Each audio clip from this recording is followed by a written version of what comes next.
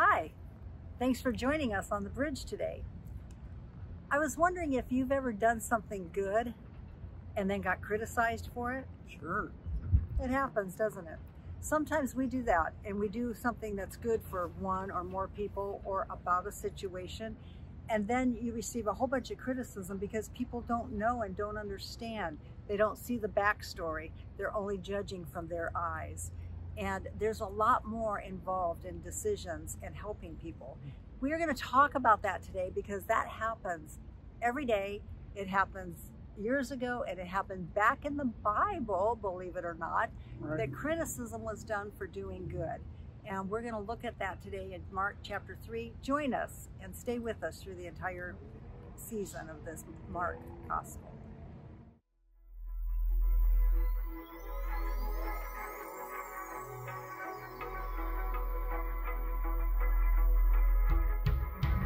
Hi, and welcome to The Bridge. My name is Pastor Randy Jones. This is my wife Nancy, and we're a small part of a big thing that we believe God's doing. And He's called us into ministry to take this good news of Jesus around the world. Uh, we have a pastor's conference coming up on the 30th. I'll be speaking at outreach service this Friday. Uh, the college and ministry is underway, and we're just excited what the Lord is doing. Uh, we're uh, gaining resources to release another family. If you'd like to be a part of that, be led of the Holy Spirit. That's what we are trying to do. We're all about being led by the Holy Spirit. And you're going to see how Jesus dealt with wokeness in just a few minutes. Way back then. And uh, the title of the message today uh, is A Plot to Kill. And just coming off this attempted assassination of uh, Trump, I think you'll glean some good insight, not from me, but from God's Word. So stay with us, and we want you to, to be a part of that. Nancy, tell us a little bit about ministry, I'll pray, and then we're going to dive right into Mark chapter 3 in just a moment. Amen. Well, thank you for joining with us. We're in Iowa again. We come and grow through here whenever we go up to see our kids in the north part of the country. And so it's a halfway point. So we're, we stop here and we rest. And you can see in the background that trailer right there belongs to our good friends um, Mike and Barbara Segrist. And as we are recording this right now, we want to pray for her because Barbara is in surgery as we speak. It's true. And so we want to be praying for her about that. By the time this is, you're seeing this, she's already come out and started her recovery process. But um, so we want to pray for her about that. And we are in um, an area called Adventureland. And I don't know if you can see the Ferris wheels and roller coasters and all the tracks behind us. Once in a while, you might hear it get started and some screams. Don't worry, it's all under control. It's just an amusement park. And so we are enjoying that. We had a great time with family over the 4th and a couple weeks in Illinois. So we are just looking forward to new things that God has for the rest of the summer. We are excited for people being released out of enslavery, like Randy was referring to, and the Sewing Center is going forward for um, enhancing women's skills. A couple of new sewing machines. Yeah, yeah, thank you. You helped us purchase that. You helped us release one family this month already. It would be great to be able to release another family from the slavery. So, whatever you can do to help us, we thank you. We appreciate you for doing that, and we appreciate your constant prayers. And and while we're traveling and while we're um, ministering, and like Randy said, uh, the leadership conference that he's going to be doing, and just all kinds of things. God is just keeping us busy in our retirement years. Here we thought we were going to retire. God is good. Well, let's pray together, can we?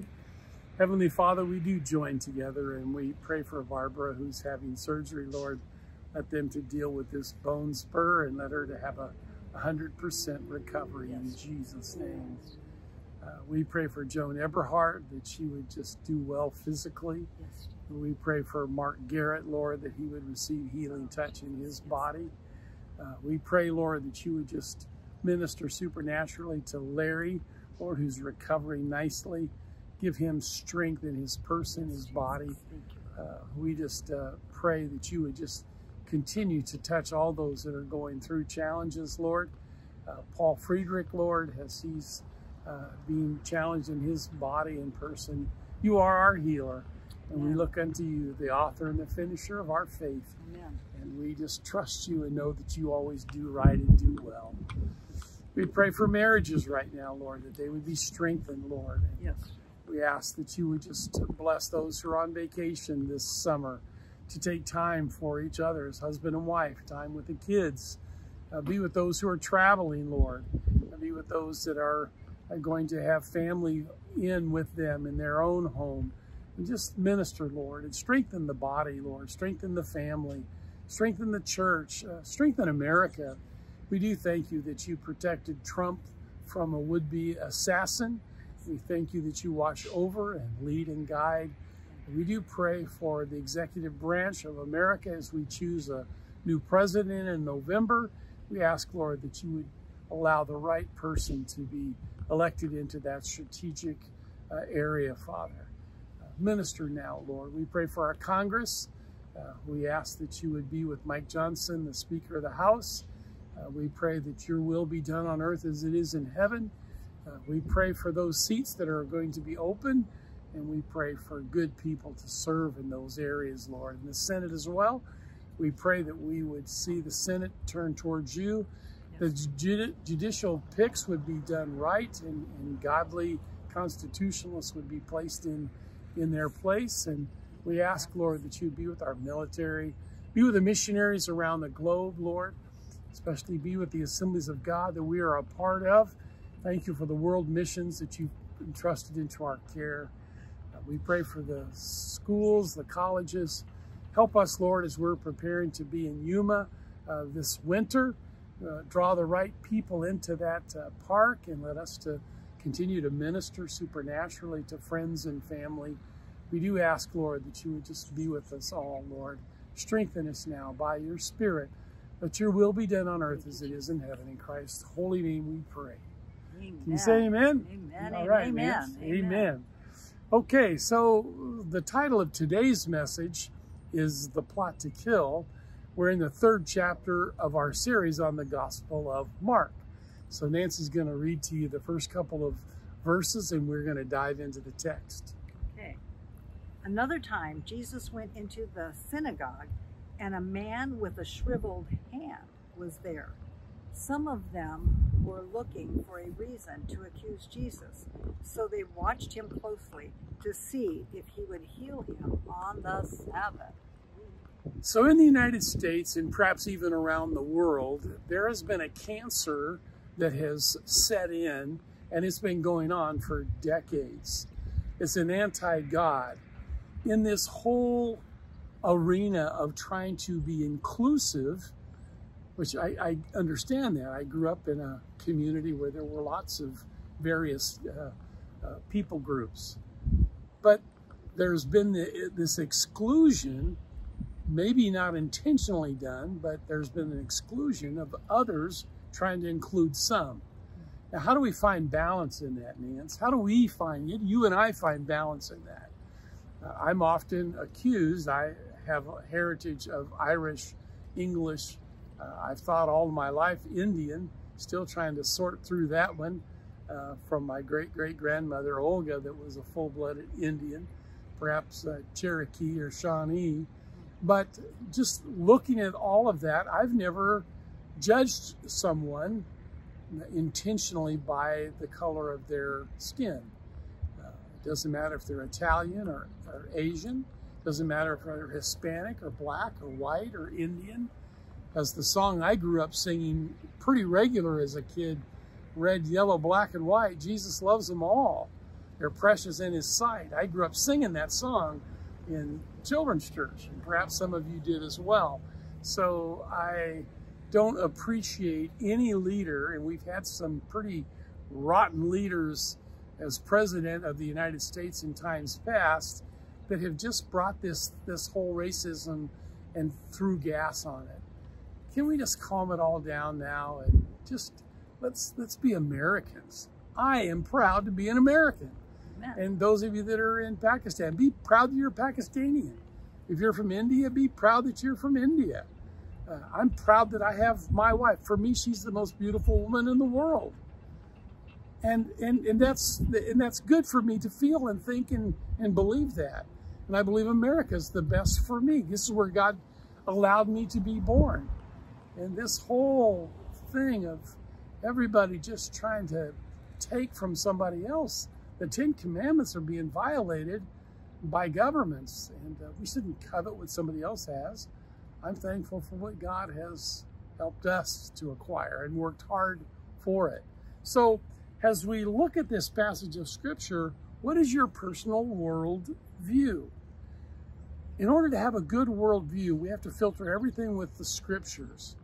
So I, I'm impacted by what's going on in the world, but I'm not led by that.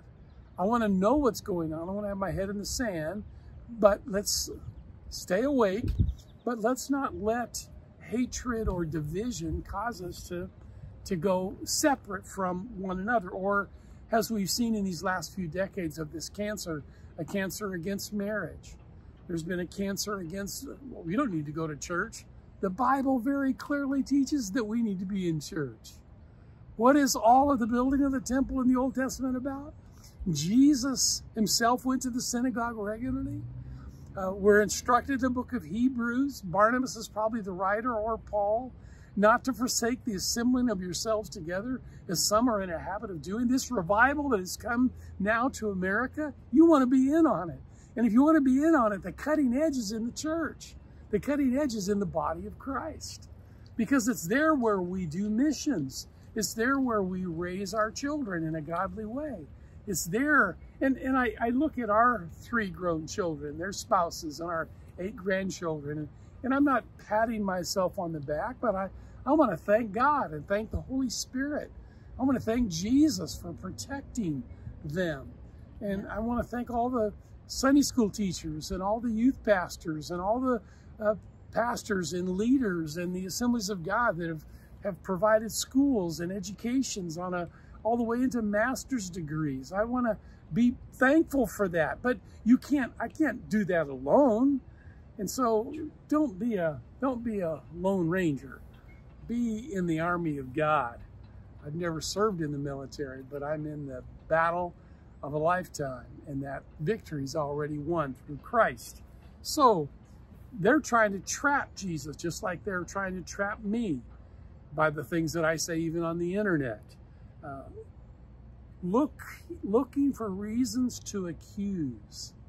Read the next section about how Jesus brings this man up and shows the world, and it's in the scripture, so millions, if not billions of people have read it, because Jesus wanted us to know that he had power to heal. Okay. Nancy? Chapter, chapter 3, verses 3. Jesus said to the man with the shriveled hand, Stand up in front of everyone. Then Jesus asked him, Which is lawful on the Sabbath, to do good or to do evil, to save a life or to kill? But they remained silent. He looked around at them in anger and deeply distressed at their stubborn hearts and said to the man, Stretch out your hand. He stretched it out, and his hand was completely restored. Then the Pharisees went out and began to plot with the Herodians how they might kill Jesus. So there was wokeness here. Mm-hmm. Jesus wanted to do good by healing a man's hand that was deformed, and he wanted to make it whole. He knew what they were up to. So he had the man stand up, and he wanted them all to see what he was going to do. You know, there's a parallel story that I want to recite to you if you haven't heard it. It's a story of a kingdom and of a great king, and he had lots of subjects, and he wore beautiful clothes all the time. But on this occasion, they pretended to put clothes on the king and got him ready for the parade, but there really weren't any clothes. And as he marched in the parade, oh, the people applauded the people were shouting, how beautiful, how beautiful is the garments, how beautiful. And the little boy looking said, there's no clothes. The emperor is naked. Oh, don't say that. Can we trust what we see today?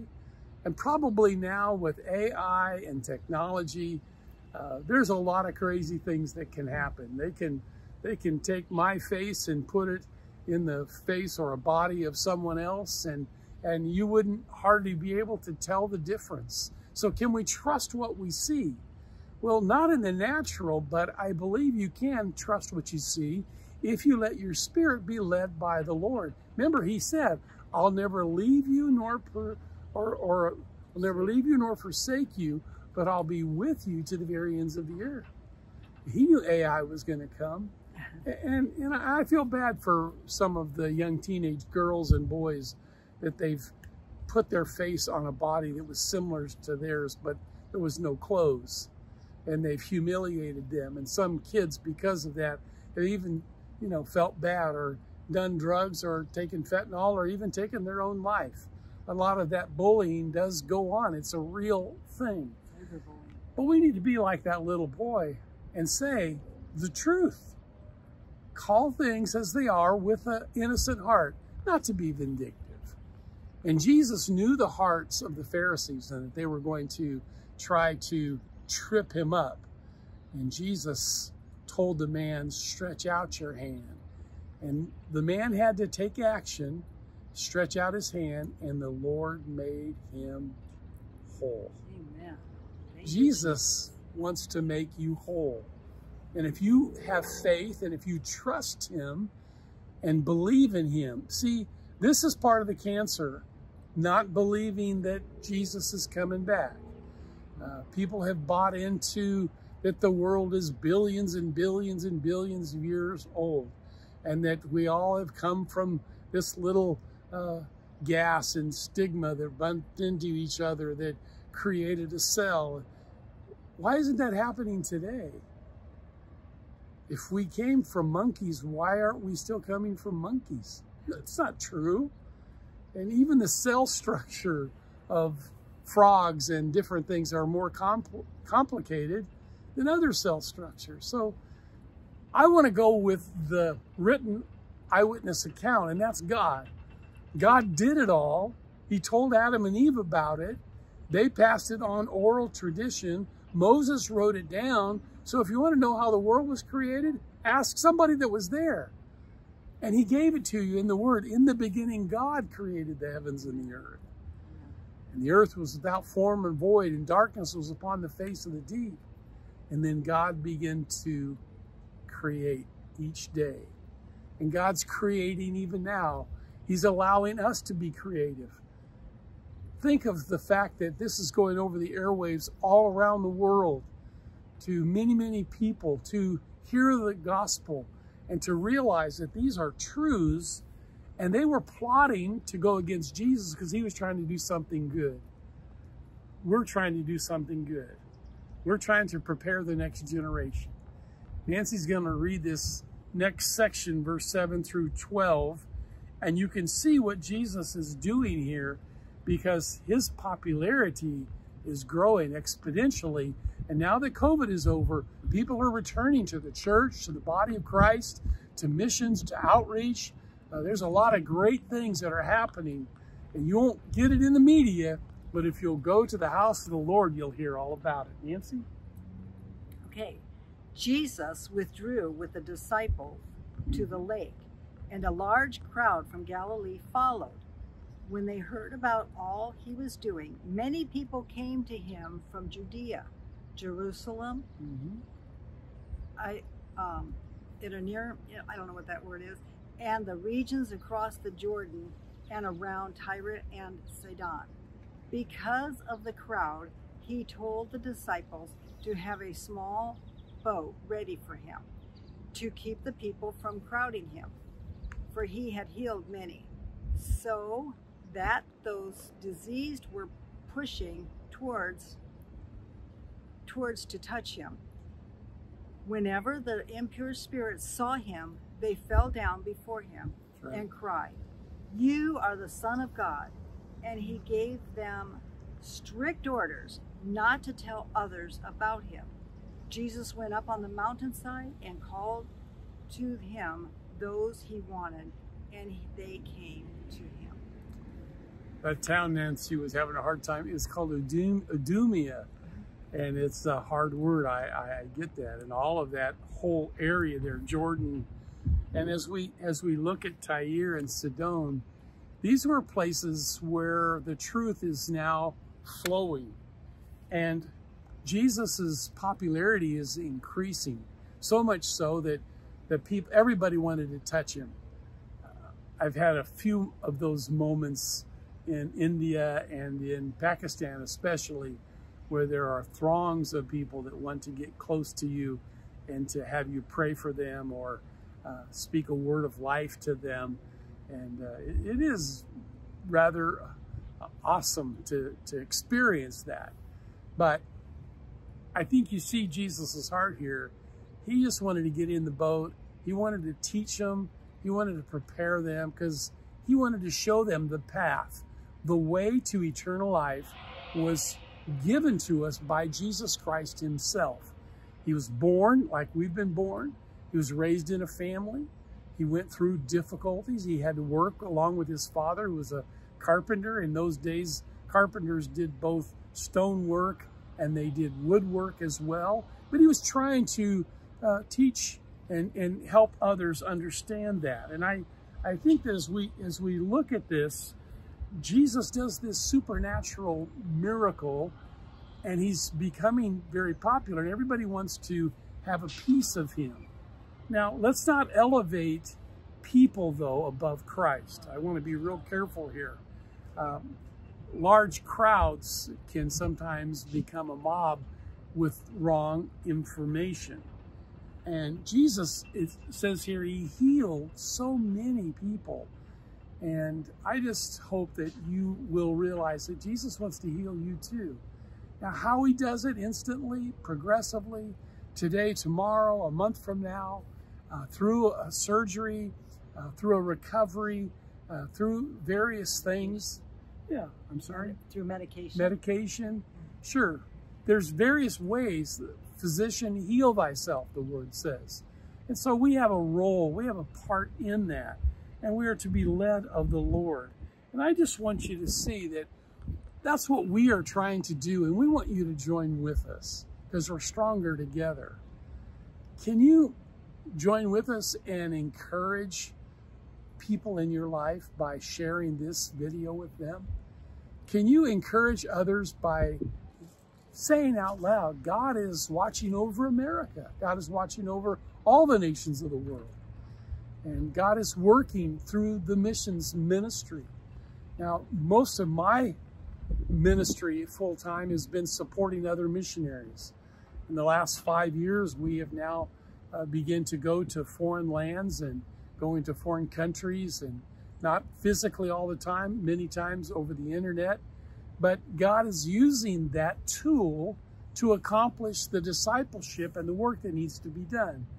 And as I share with Nancy privately, and I'm going to share with you now, when we take these steps into these arena, we feel the buffeting of the enemy, discouragement sometimes in the form of why or, or why are we doing this or distrusting.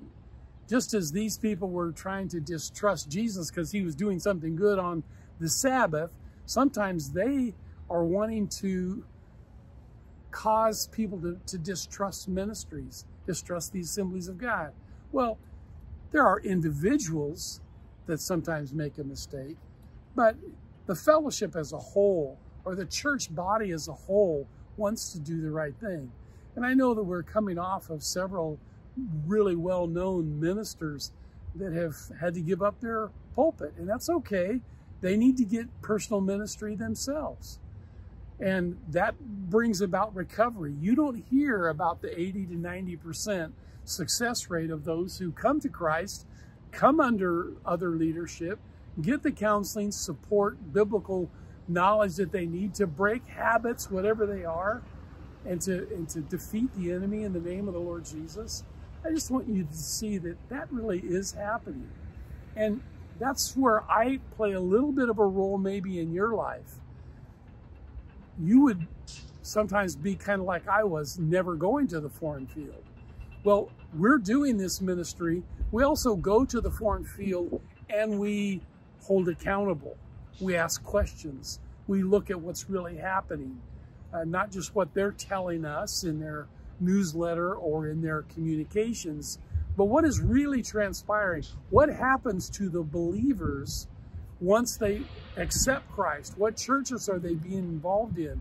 How are they growing? And we're we're attempting to address that through these layers of myself, key pastors, uh, support leaders, and we're providing opportunity. We see a need, and with your help and us together, we're fulfilling that. So I hope that you will, first of all, pray for us. That's the most important. Secondly, that you would encourage, and we get lots of encouragement and likes on our pages. And if you'll help spread this, that helps our ministry grow, gives us impact, greater impact here in America. And we're doing some things strategically here in America to reach Americans and Canadians and, and people from Mexico and this continent. So the Bible says to go into all the world. Well, Jerusalem, Judea, and the uttermost parts of the world, we're aggressively doing that. We're fulfilling that. And we're inviting you to encourage us. And then as the Lord speaks to your heart, we would ask that you would join with us in making a commitment. If you want to do a one-time gift, but you know, the strength of the ministry really is the monthly support. People that give regular amount on a monthly basis, that gives us operating capital to be able to make commitments to these pastors conferences, to these uh, outreaches. And some of these are huge. Some of these uh, outreaches that we're doing, these crusades are huge.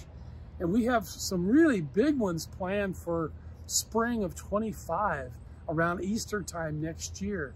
And I would like you to begin to pray about praying for us, encouraging us, uh, saying, yeah, I feel that too. That's what the Lord would have us do. And let's pray concerning that. And here's our part in this. And as you are led of the Lord, we're going to see these doors continue to stay open because we don't know how long that will be.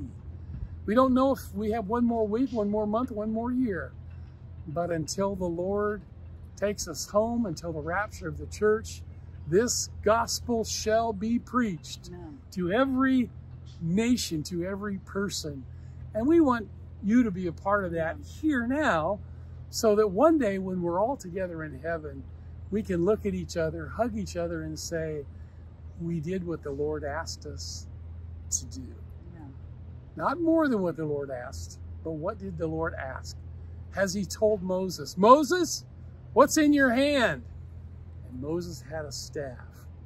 And God used that staff many times to impact the culture to change the direction of Egypt, to part the Red Sea, to provide for the children of Israel water, whatever. God doesn't ask for something that he doesn't provide. Let him provide for you, and then as you receive that, bless others with it. Amen. You agree today? Amen. Pray with me if you would as we close our time together today. Lord, we ask that those that have an infirmity in their hand or their leg or their body, that they would just present it to you and that you would heal that in the name of Jesus. Let healing virtue flow now according to your will, plan, and purpose. Glory to God. Glory to God. We come against the powers of the enemy, and we know that we have authority over darkness. Demonic spirits, be quiet. You will not destroy the church. You will not destroy the work of the Lord. As Jesus told you to be quiet, we tell you to be quiet as well until the mission is accomplished. Until the church is raptured, we ask for you to stop harassing people's bodies, finances, relationships. Lead us not into temptation, but deliver us from evil. For yours is the kingdom and the power and the glory forever and ever. Amen. Amen. Well, thank you for joining with us. We'll see you next time here on the bridge, and we'll continue in chapter 3 of the Gospel of Mark. God bless. See you next time on the bridge. Thank you for joining us today on The Bridge. Please check out our website at www.thebridgeministry.online. Also, like us on your favorite social media platform. And if you're on YouTube, be sure and like and subscribe. Thank you and have a great week.